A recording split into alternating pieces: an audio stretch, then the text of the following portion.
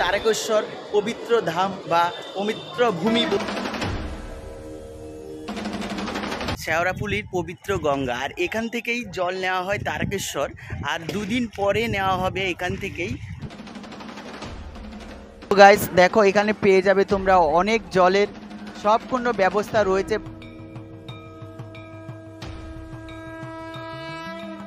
এটা হচ্ছে মেন মন্দিরে ঢুকার লাইন দেখো এটা। আর এখানে সব পুরোহিতেরা পুজো দেওয়ার ব্যবস্থা রয়েছে দেখো। নিরামিষ আমাদের যেমন খাবেন তেমন দাম। আমাদের তিন রকম প্লেট আছে একটা নর্মাল প্লেট আছে একটা মিডিয়াম আছে একটা স্পেশাল প্লেট আছে। যদি মন্দিরে ঢুকার আগে রয়েছে এই হোটেলটা খুব সুন্দর এবং রিজনেবল দামে তোমরা পেয়ে যাবে এখানে হোটেল মালিকের নাম্বার এবং সরাসরি দিয়ে দেবো আমরা সেই নাম্বারে তোমরা কন্ট্যাক্ট এখানে মুড়ি ঘুগনি হয় মুড়ি আলুর দম হয় মুড়ি ছোলার ডাল হয় গরম কচুরি হয় কচুরি কচুরি পাঁচখানা করে তিরিশ টাকা। টক মিষ্টি মিষ্টি টক ঝাল ভাতে খাওয়ার আছে আর রুটি পরোটার সাথে খাওয়ার।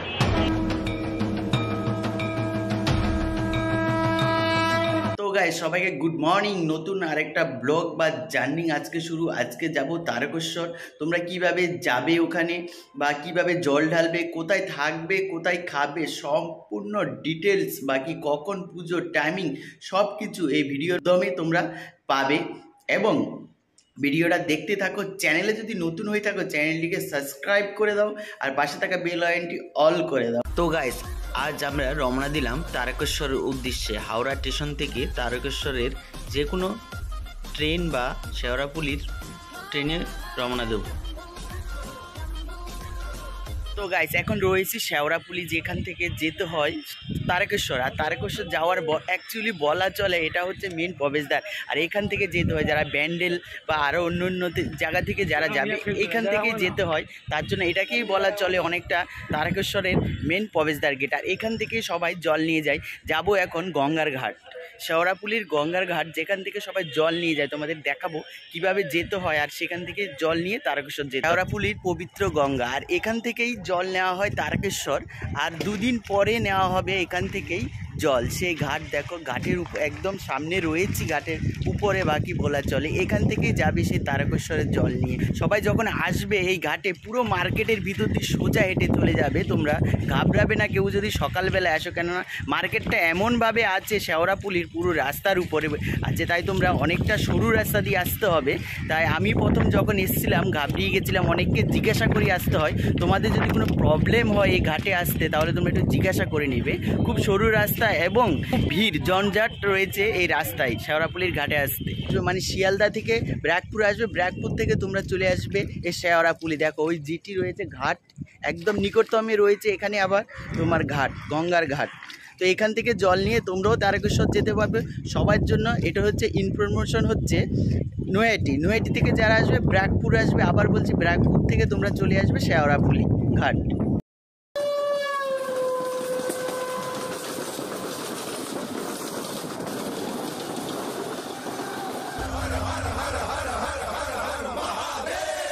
অবশেষে পৌঁছে গেলাম তারকেশ্বর পবিত্র ধাম বা পবিত্র ভূমি বলে থাকে সবাইটাকে বা আমিও জানি পবিত্র ধাম, এখানে আসলে তোমার কত ভালো লাগবে। তো এখন সেই স্টেশনে আছি, এবার যাব তোমার তারকেশ্বর মন্দিরে। তো কীভাবে যেতে হয়? এখানে রয়েছে বাস স্ট্যান্ড তোমরা যদি কেউ বাসেও আসতে চাও বাসেও আসতে পারবে। তারকেশ্বরে গাইস এবার তারকেশ্বর স্টেশনের বাইরে আছি, যেখান থেকে যাব মাত্র আর পাঁচ থেকে সাত মিনিট লাগবে হেঁটে। তো চলো, এই দেখো, এটা হচ্ছে তারকেশ্বর স্টেশন, আর সেখান থেকে সোজা আমরা এই রাস্তা ধরে এবার যাব তারকেশ্বর মন্দির একদম স্টেশন থেকে আসার রাস্তা, এসে তোমরা এদিকে ডান দিকে ঘুরে যাবে, আর এটা হচ্ছে সে সোজা রাস্তা একদম। এই রাস্তাটা ধরে তোমরা চলে যাবে একদম সামনের দিকে। তো গাইস তোমরা যারা তারকেশ্বর প্রাইভেট গাড়ি করে নিয়ে আসবে, তাদের জন্য একটা সুখবর বা বা ডিটেলস রইল। এই দেখো রাজবাড়ির গেট আর এখানে রয়েছে গাড়ি পার্কিং চার্জ কাটা হয়, এই যে এখানে। তার সামনে রয়েছে মাঠ, সেখানেই গাড়ি পার্কিং করা হয়। আমি তোমাদেরকে দেখিয়ে দিচ্ছি কত টাকা মূল্য বা কী। তোমরা বোর্ডের মধ্যে লেখা আছে। তো সেখান থেকে তোমরা গাড়ি এখানেই পার্কিং করতে পারবে। যারা পার্সোনাল গাড়ি নিয়ে আসবে, কোনো অসুবিধা নেই। একদম সেফটিতে রাজবাড়ির সামনেই গাড়ি রাখা হয়, এখান থেকেও চাইলে তোমরা প্রসাদ গ্রহণ করতে পারবে, ঠিক টাইম মতো হলে সম্ভব। আমার পাশেই রয়েছে এই যে দেখো, এই গ্রিলটার ওই পাশেই রয়েছে সেই পবিত্র পুকুর, দুধ পুকুর বলে যেটা আছে সেই তারকেশ্বরের দুধ পুকুর, যেখানে স্নান করলে অনেক মানুষেরই রোগ ব্যাধি সেরে যায়। সেই দুধ পুকুরে দেখো, সবাই কীভাবে স্নান করছে এবং সেই পুকুরে খুব পবিত্র পুকুর।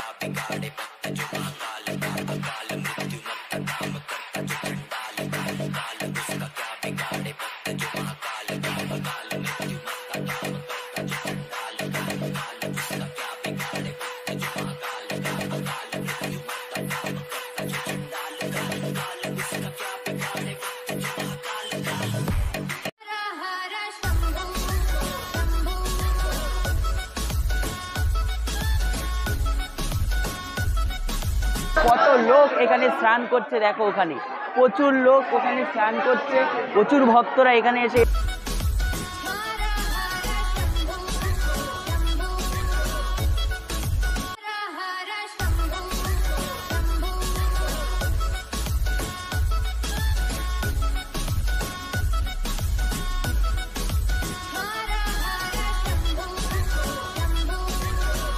এখানে দুধ পুকুরে স্নান করা। আর এখানে দুধ ঢালতে পারবে বাবার মাথায়, জল ঢালতে পারবে এবং কি এই দুধ পুকুরের জলও তোমরা বাবার মাথায় ঢালতে পারবে। তাহলে তোমরা সবাই আসবে আর এখানে সব স্নান করার উপরে রয়েছে তোমার সম্পূর্ণ ব্যবস্থা। এখানে যেই মানে জলের ব্যবস্থাটা রয়েছে, সেটা তুমি কুড়ি, পঁচিশ, তিরিশ, যে যেরকম তোমরা ঢালবে, মূল্য দিয়ে তোমরা কিনতে পারবে। এখানে কয়েক শ দোকান বা কয়েক হাজার দোকান রয়েছে এই জায়গায়। তো তোমরা এখানে হোটেলের ব্যবস্থা আছে। এখানে তোমরা টিফিন করবে নিরামিষ। পুজো দিতে আসলে তো নিরামিষ খাবে। সব কিছু ব্যবস্থা এখানে রয়েছে। তো দেখো, বাবার এই মন্দির খুব পবিত্র মন্দির, এই মাটি, তারকেশ্বরের মাটি খুব পবিত্র মাটি।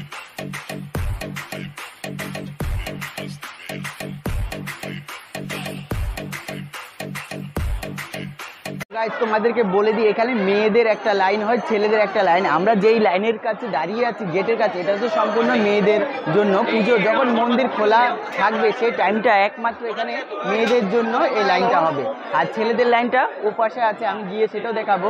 এই মন্দিরের চারটে গেট আছে। তোমার চারটে গেট পাবে। সেই চারটে গেট দিয়ে পুজো দেওয়া যায়। দুটো গেট মেন এটা হচ্ছে ছেলে- মেয়েদের গেট আর তার পাশে ও পাশে আছে, ডান দিকে আছে তোমার ছেলেদের গেট সে সরাসরি ওদিক থেকে চলে এসছে। তো তোমরা দুটো গেট মেনটেন করে আসবে, ছেলেদের এবং মেয়েদের। দুটো গেট এখানে দুটো গেট দিয়ে পুজো হয়, অন্য গেট দিয়ে ঢুকা যায়। কিন্তু মেন হচ্ছে দুটো গেট তো গাইজ বাবা তারকেশ্বর কি জয়? বাবা তারকেশ্বরের মেন মন্দির হচ্ছে এটা দেখো। তার পিছনের দিক সাইডটা রয়েছি। আর ওদিকে হচ্ছে দুধ পুকুর আমি দেখাচ্ছি যে গেট ঢুকেছি। এই হচ্ছে তারকেশ্বর মন্দির। দেখো আর তোমাদেরকে চূড়োটা দেখাই ও হচ্ছে তারকেশ্বর বাবার মেন মন্দিরের চূড়ো দেখো। আর এটা হচ্ছে মেন চূড়া আর এটা হচ্ছে মেন মন্দির। এটা হচ্ছে চার নাম্বার গেট ছেলেদের জল ঢালার জন্য এটা রয়েছে চার নাম্বার গেট এই গেট দিয়ে ছেলেদেরই জল ঢালা হয় তারকেশ্বর। গাইজ তোমাদেরকে এবার দেখাবো তারকেশ্বর মন্দিরের বাইরের সাইডটা সম্পূর্ণ ঘুরে। এখানে কি আছে? ভিতরে ঢুকা নিষেধ এবং সেখানে ছবি তোলা তাই। ভিতরে বাবাকে তোমাদের লিঙ্গ দেখাতে পারলাম না, জাগ্রত যেই লিঙ্গ আছে। ওটা হচ্ছে মেন মন্দির। মন্দির মেন মন্দিরের ছবি তোলা নিষেধ। তাই তোমাদেরকে আমি ছবিটা দিতে পারলাম না। এবার তোমাদেরকে ঘুরে ঘুরে দেখাবো এই মন্দির চত্বরটা। কত সুন্দর বাবা। বাবার সব আস্থানগুলো খুব সুন্দর।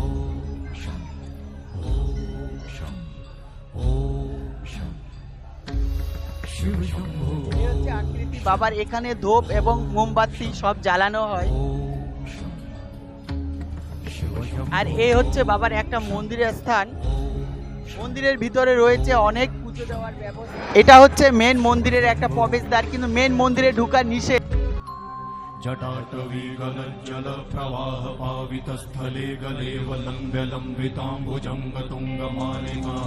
এটা হচ্ছে মেন মন্দিরে ঢুকার লাইন দেখো এটা। আর এখানে সব পুরোহিতেরা পুজো দেওয়ার ব্যবস্থা রয়েছে, দেখো।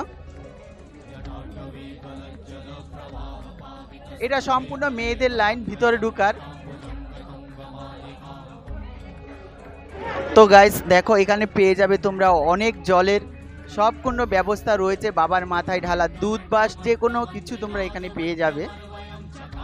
তো গাইস এই হচ্ছে দুধ পুকুরের পাশ দিয়ে তোমরা আবার এটা দিয়ে ফিরে যেতে পারবে মানে বেরিয়ে যেতে পারবে মন্দিরের দিকে। যেটা স্টেশন চত্বরের দিকে যাওয়ার জন্য এই রাস্তাটা খুব সুন্দরভাবে রয়েছে, দেখো, করা। এটা দিয়ে যদি তুমি চেষ্টা করো ঢুকতে পারবে, বেরোতে পারবে। যখন প্রচুর ভিড় হয়, মেলার টাইমটা যখন, এটা প্রচুর ভিড় হয়। রাস্তা গাইজ অন্নপূর্ণা হোটেলে একদম নিরামিষ খাবার পাবে। তো আমরা এবার কথা বলে নিরামিষ আমাদের যেমন খাবেন তেমন দাম। আমাদের তিন রকম প্লেট আছে, একটা নর্মাল প্লেট আছে, একটা মিডিয়াম আছে, একটা স্পেশাল প্লেট আছে। যদি আপনি স্পেশাল প্লেটটা খান, ভাত থাকবে, মুগের ডাল, আলু ভাজা, গাওয়া ঘি, শুক্তো থাকবে ধোকার ডালনা থাকবে, ফুলকপির তরকারি থাকবে, একশো গ্রাম দই থাকবে, আচার, পাঁপড়, সব দিয়ে এটা একশো কুড়ি টাকা করে প্লেট আছে। এটা স্পেশাল প্লেট যদি এর নিচে খান, এর নিচে আছে মিডিয়াম প্লেট নব্বই টাকা। ভাত, ডাল, আলু ভাজা, গাওয়া ঘি, শুক্তো, আলু পোস্ত, আলু পটলের তরকারি, আচার, পাঁপড়। যদি এর নিচে খান, এর নিচে নর্মাল প্লেট ভাত, ডাল, আলু ভাজা, শুক্তো, ধোকার ডাল্লা আচার, পাঁপড় ভাজা। সব দিয়ে সত্তর টাকা প্লেট যে কোনো প্লেট নিন, পরে যদি কারও ভাত লাগে, এক বাটি ভাত, ডাল, আলু পোস্ত দিয়ে দশ টাকা ভাত তোমরা এই তারকেশ্বর আসলে কোথায় খাবে? নিরামিষ খাবার, এখানে তিনটে আইটেম আছে, তিন রকমের দামের খাবার পাবে। সিজন এখন একটু তাই, একটু খাবারের দাম বেশি, তখন অন সিজন হয়ে যাবে, তখন একটু দাম কমবে এই খাবারের। তো তোমরা তিন রকমের আইটেম পাবে, অন্নপূর্ণা এই হোটেলে তোমরা খুব সুন্দর রেস্টুরেন্টের খাবার। তো আমার খাবার কি কি দিচ্ছে তোমাদেরকে দেখাচ্ছি। আমার থালা সাজাচ্ছে।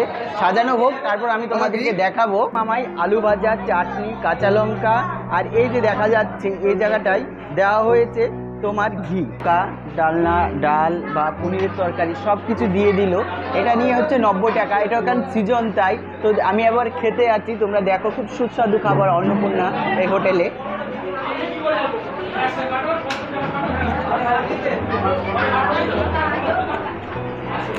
আর রয়েছে পাঁপড় স্পেশাল।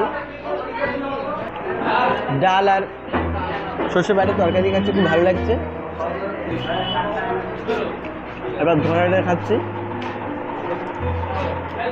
খুব ভালো হয়েছে খাবার।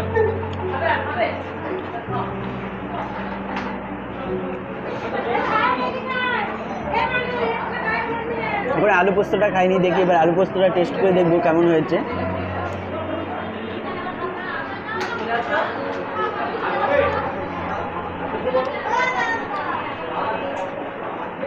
ঠিক আছে, সবই খুব সুন্দর রান্না হয়েছে। অন্নপূর্ণা নিরামিষ খাবার, একদম খুব সুন্দর খাবার।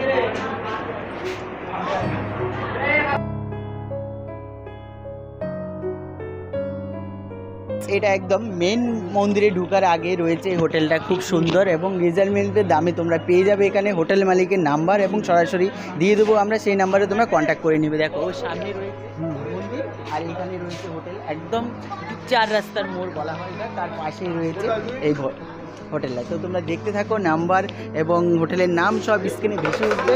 তোমরা সরাসরি কন্ট্যাক্ট করে এই নাম্বারে হোটেলে আসবে। মানে মুড়ি ঘুগনি হয়, মুড়ি আলুর দম হয়, মুড়ি ছোলার ডাল হয়, গরম কচুরি হয়, কচুরি কচুরি পাঁচখানা করে তিরিশ টাকা। আচ্ছা মুড়ি ঘুগনি একটা করে ভাজা দিয়ে পঁচিশ টাকা।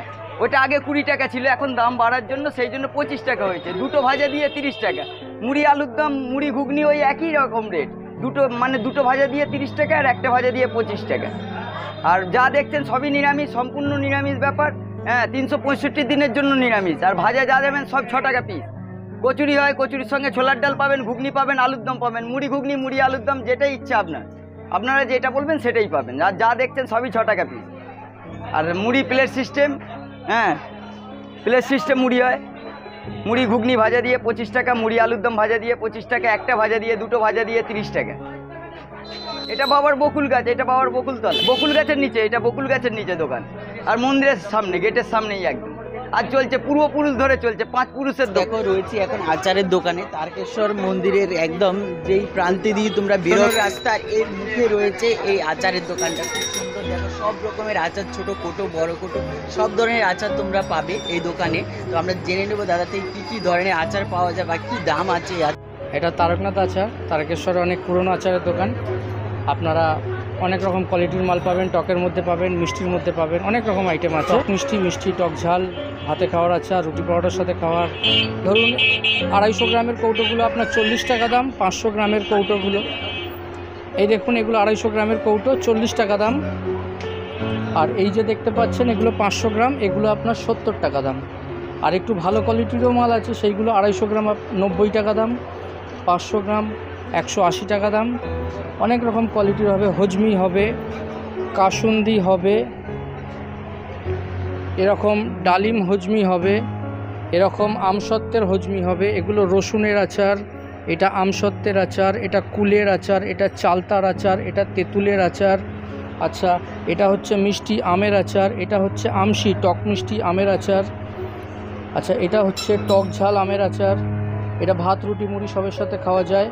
এটা হচ্ছে মিক্সড আচার, এটা দারুণ আচার, এটা ভাত, রুটি মুড়ি পরোটা, ছাতু সবের সাথে, আর এটা হচ্ছে সিমলা মির্চ, এও দারুণ আচার, এটা হচ্ছে আমের কাসুন্দি, একদম ডাল ভাতের সাথে কিংবা গরম ভাতের সাথে খাওয়ার, আর এটা হচ্ছে কাঁচা লঙ্কার আচার, এটা হচ্ছে কচুরির সাথে, পরোটার সাথে, গরম রুটির সাথে খাওয়ার, জলপাইয়ের আচার হবে, বারো মিশালি হবে, কবিরাজি আচার হবে আরও বহুত রকমের আচার আছে। হ্যাঁ স্যার এটা আমাদের দোকানটা হচ্ছে মহাপু বাসনালয় তারকেশ্বর কাপড়পটির মধ্যে আছে। হ্যাঁ স্যার ওটা আপনার দাম পড়ছে আপনার ওই নশো টাকা কিলো আছে আটশো টাকা কিলো আছে স্যার। কারণ বিভিন্ন ওজনের দাম বিভিন্ন রকমের সাইজ এটা হচ্ছে গোপাল গোপাল সেজে বসে আছে ননী গোপাল আছে। আচ্ছা, এটা প্রাইসটা আছে স্যার দুশো টাকা পুরো সেট আচ্ছা। আর ওই যে তারকেশ্বর বাবার ওই ফটোটা বাজানো ওটা স্যার একশো টাকা পিস ওটা একশো টাকা piece। আর কি আছে ওইরকম ওরকম রাধাকৃষ্ণ আছে। পঞ্চ পঞ্চতত্ত্ব আছে স্যার নিতে আছে স্যার বাবা ভোলেনাথের আছে। আর বাবা ভোলেনাথের এই যে লিঙ্গগুলো দেখা যাচ্ছে ছোট বড় এগুলো কি কি ওটা আপনার অরিজিনাল পাথর হলে পাঁচ হাজার টাকা দাম স্যার। আর একটু কমা হলে আপনার দু হাজার টাকা দাম স্যার। আর ছোটো সাইজ হলে দেড়শো টাকা স্যার দুশো টাকা। বিভিন্ন রেঞ্জের স্যার বিভিন্ন রকম দাম স্যার। এগুলো এই যে এই ছোট ছোট এগুলো আমরা পঞ্চাশ টাকা থেকে আরম্ভ আছে ষাট টাকা সত্তর টাকা আশি টাকা। লোয়েস্ট হচ্ছে কুড়ি টাকা স্যার ত্রিশুলটা স্যার আছে আপনার দুশো পঞ্চাশ টাকা।